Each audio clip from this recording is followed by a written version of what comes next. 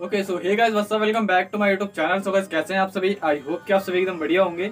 So guys मेरा नाम है करण एंड आज की इस नई वीडियो में गाइस मैं आप सभी को सिखाने वाला हूँ गाइस कुछ इस टाइप की new photo editing and guys इस फ़ोटो एडिटिंग में गाइस मैं कुछ बैकग्राउंड पिन जिसका मैं यूज़ करूँगा, जिन सभी का लिंक जो आपको नीचे डिस्क्रिप्शन बॉक्स में हमेशा की तरह मिल जाएगा तो आप लोग इजीली वीडियो देखने के बाद जगह डाउनलोड कर लेना। एंड गाइस अगर अभी तक आप सभी ने वीडियो को लाइक नहीं किया तो प्लीज़ वीडियो को एक लाइक ज़रूर कर देना। और अगर चैनल पर तो चैनल को सब्सक्राइब करके बेल आइकन को प्रेस कर लो। बाकी चले गाइस आज की इस नई वीडियो को हम बिना किसी रुकावट के स्टार्ट कर लेते हैं।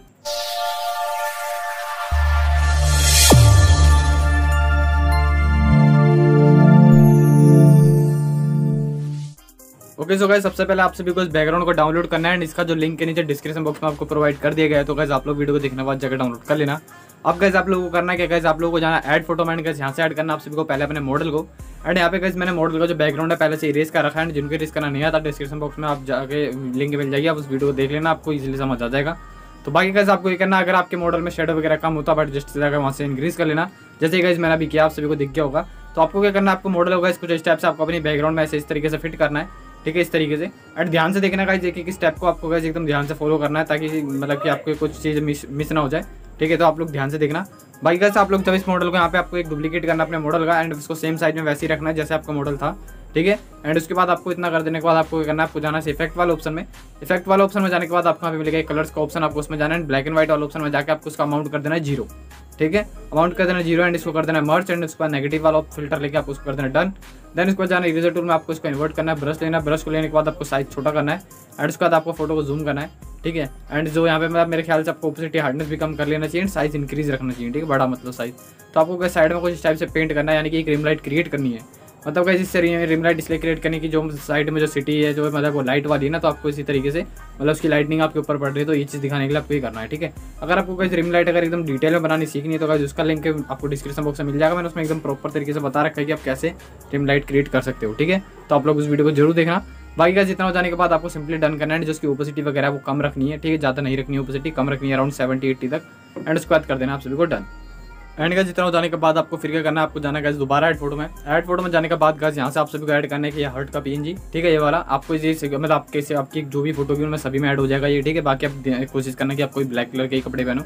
ठीक है, उसके बाद आपको यहाँ पे फिट करने के बाद आपको फुल स्क्रीन करके ऐसे ऐड कर देना ऑटोमेटिकली ऐड हो जाएगा बट इसमें आपको कुछ चीज़ें इरेज करनी पड़ेगी, जो कि आप रिज़ल्ट में जाके कर पाओगे। तो उस पर ओपेसिटी हार्डनेस कम करके साइज़ को छोटा करके आपको इस तरीके से इरेज करना साइड साइड से इस तरीके से। मतलब कि ये आपके जो कपड़े हैं उसमें मर्च हो जाए इस तरीके से, ठीक है? आपको इस तरीके से रेस करना है, इसको थोड़ा थोड़ा करके। देन उसके बाद इतना हो जाने के बाद आपको फिर क्या करना है? जब आप इतनी चीज़ें कर लोगे तो आप लोगों को जो है इसमें कुछ मतलब कि ग्लोइंग भी डालना है। तो ग्लोइंग कैसे डालना है वही मैं बताऊँगा, ठीक है? तभी मतलब कि जो इसके अंदर की जो लाइटनिंग है वो आपके बाहर भी निकलेगी ना अगर आप इसके रेल में होगा ऐसा कुछ तो। वो तो ये रेल दिखाने के लिए आपको उसके लिए लाइट भी लगानी पड़ेगी तो उसको लाइट को कैसे लगाना आपको मैं बताता हूँ। आपको सिंपली यहाँ पे जब ये हो जाएगा तो आपको सिंपली यहाँ पे डन वाला ऑप्शन में क्लिक करना है उसके बाद आपको उसको कर देना डन ठीक है? इस तरीके से। अब उसके बाद आपको क्या करना आपको जाना दोबारा एड फ़ोटो में। ऐड फ़ोटो में जाने के बाद गज यहाँ से ऐड करना आप सभी को एक लाइट का पीएनजी ठीक है, जो कि आपको डिस्क्रिप्शन बॉक्स में ये भी मिल जाएगा। तो आपको इसमें क्या करना है, पहले इसको आपको ह्यू चेंज करना है इसका पहले, ठीक है ह्यू मतलब चेंज करके आपको इसको रेड कलर का करना है। तो पहले हम इसको ब्लैंड मोड स्क्रीन करके देखते हैं। तो अभी हम इसको नॉर्मली रहने देते हैं, ठीक है, पहले हम इसका ह्यू चेंज कर लेते हैं। तो यहाँ पर एडजस्ट में जाएँगे हम सिंपली एडजस्ट में जाने के बाद हम जाएँगे यहाँ से ह्यू में। ह्यू का ऑप्शन आपको मिल जाएगा एडजस्ट में जाते ही, ठीक है तो उसके बाद आपको उसको ऊपर की तरफ़ हंड्रेड प्लस कर देना रेड हो जाएगा।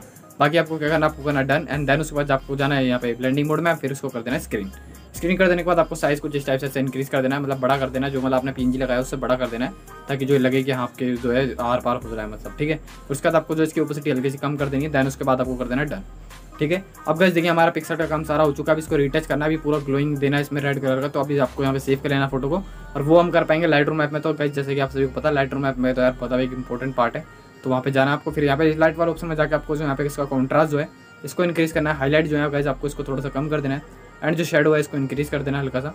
एंड जो गैस वाइट है वाइट जो है, इसको यहाँ पे हल्का सा इंक्रीज कर देना जो ब्लैक है, इसको यहाँ पे आप कम ही रख लेना, ठीक है, ताकि जो एक डार्क रहे आपकी फ़ोटो देन उसके बाद जाना आपको कलर्स में कलर्स में जाने का आपको वाइब्रेशन बढ़ाना है टेम्परेचर थोड़ा कम कर देना है, ठीक है, अपने फ़ोटो के अकॉर्डिंग देन आपको क्या करना, आपको जाना है कलर मिक्स में। कलर मिक्स में जाने के बाद ऑरेंज कलर सेलेक्ट करना है, इसका यू आपको माइनस करना है लूमिनस इसका इंक्रीज कर देना है। फिर इतना हो जाने के बाद आपको यहाँ पे इसका लूमिनस भी बढ़ा देना है, ठीक है, इसके बाद आपको यहाँ जाना है। फिर यहाँ से आपसे कोई को करना कि आप सभी को चले जाना है ऐसे रेड कलर में, आपको उसका hue minus saturation plus then उसके बाद आपको यहाँ से चले जाना है डार्क ब्लू में, आपको उसका ह्यू जो है मतलब प्लस की तरफ़ रख देना है सेचुरेशन तो इसको प्लस कर देना है।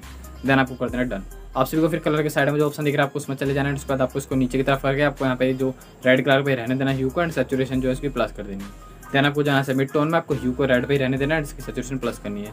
एंड सेम चीज़ आपको इसमें भी करनी है हाईलाइट्स में भी। एंड उसके बाद आपको सिंपली कर देना है डन ठीक है? इतना हो जाने के बाद आपको यहाँ पर नीचे स्क्रॉल करना है, आपको जाना है इस वाले टूल में। इस वाले टूल में जाने के बाद आपको यहाँ पे पहले क्लियरिटी इंक्रीज करनी है फ़ोटो की। फ़ोटो में डाल देना विगनेट फ़ोटो के अकॉर्डिंग मतलब हल्की फुल्की। देन आपको नीचे स्क्रॉल करना है, आपको मिलेगा ग्रीन माउंट आपको उसको भी बढ़ा देना है। फिर जाना आपको यहाँ पे नीचे वाले टूल में। नीचे वाले टूल में जाने के बाद आपको यहाँ पे फ़ोटो की शार्पनेस इंक्रीज करनी है फ़ोटो में नोट है वो डाल देना है। एंड इसके नीचे मिलेगा आपको कलर नोट आपको उसको भी बढ़ा देना है। तो फाइनली गाइज़ हमारी जो फ़ोटो यहाँ पे कंप्लीट एडिट हो चुके तो गाइज़ आशा करता हूँ आप सभी वीडियो पसंद आई होगी। वीडियो पसंद आए तो वीडियो की लाइक ज़रूर करना और चैनल पर तो चैनल को सब्सक्राइब कर लेना। बाकी चले मिलता हूँ उस किसी और वीडियो में, तब तक गुड बाय